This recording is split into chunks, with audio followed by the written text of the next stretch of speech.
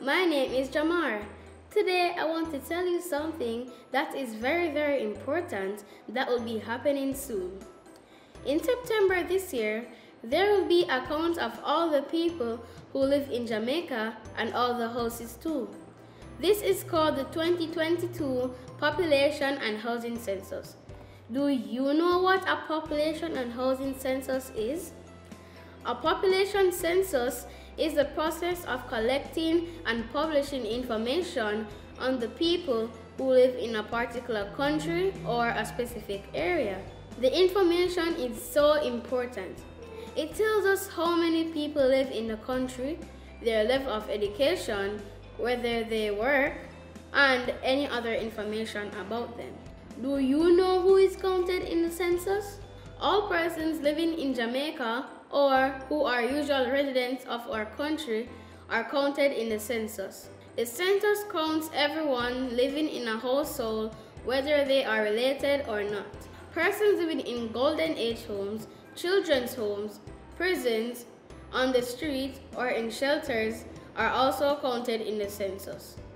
The Population and Housing Census is conducted by the Statistical Institute of Jamaica, STATIN, which is the National Statistics Office in Jamaica. STATIN employs over 7,000 census takers to help count all the persons who are usual residents in Jamaica. The census is usually conducted every 10 years in Jamaica, and this year will be Jamaica's 15th population and housing census. For this census, Statin will be making greater use of technology. This will be the first time that census takers will be collecting information on tablets. Data collection will begin in September 2022 and is expected to be completed by December 2022. In order to collect the information, the census takers will have two questionnaires one for the household and one that is to be completed for each member of the household. As responsible citizens, it's very important that everyone participates in the census. People can participate by answering all the questions from the household and individual questionnaires accurately. The census taker will record their answers on their census specific tablet. What are some of the questions that the census taker will ask? Well, on the individual questionnaire, the census taker will ask questions about the age, religion, ethnicity, level of education, and where the people who are living in the households were born.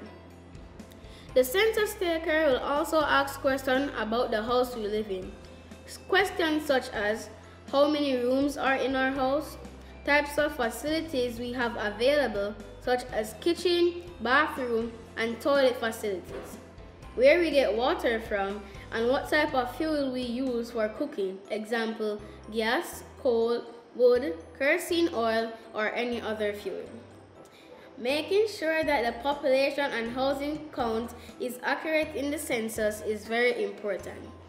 The information collected in the census is used by everyone, including representatives of the local and central governments, to make decisions about how to improve our community and country. This includes where schools, playgrounds, libraries, houses, hospitals, supermarkets, and other buildings should be built. Business owners and entrepreneurs also use census data to help make decisions about where to build a factory or what type of business they should create. If our parents or family members do not give the census takers the correct information, then the government will not be able to plan well for the future needs of our communities and our country. This means that our communities may not have enough schools, health centers, and other well-needed infrastructure in the future for us to use. All census takers sign an oath of secrecy and confidentiality that they must uphold. No one else in Jamaica will know what your family told the census taker. The data collected by census takers are sent to the census office where it is analyzed. After the census count is finished, The reports are published in a way that people cannot identify you or your family.